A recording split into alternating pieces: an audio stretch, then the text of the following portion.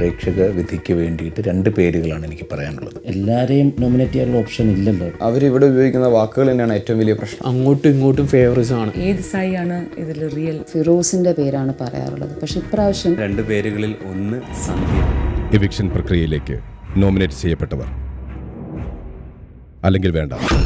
അതൊരു സസ്പെൻസ് ആയിട്ടിരിക്കട്ടെ.